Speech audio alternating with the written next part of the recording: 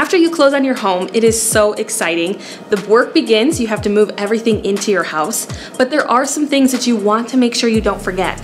Of course, switch your utilities into your name. You want to make sure you have electric when you wake up the next morning.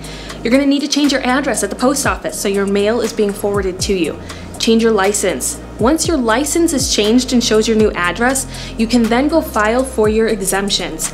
Do not forget to file for that homestead exemption on your home because you will see your mortgage payment almost double. So make sure, make sure you do all those.